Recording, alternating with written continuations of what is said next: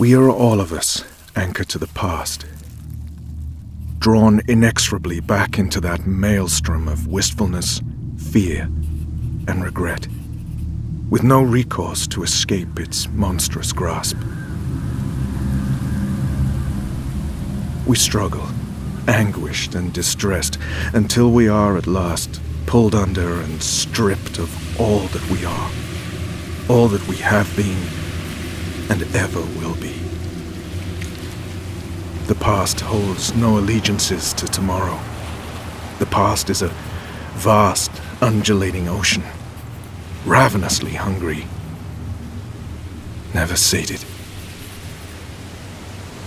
And sooner or later, we all drown in it.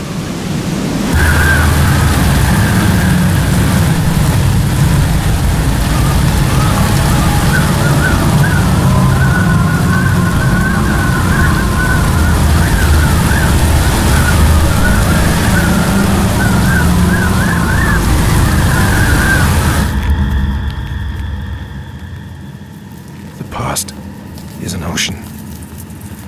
Fathomless, menacing, unknowable. Tonight, the ocean comes for me.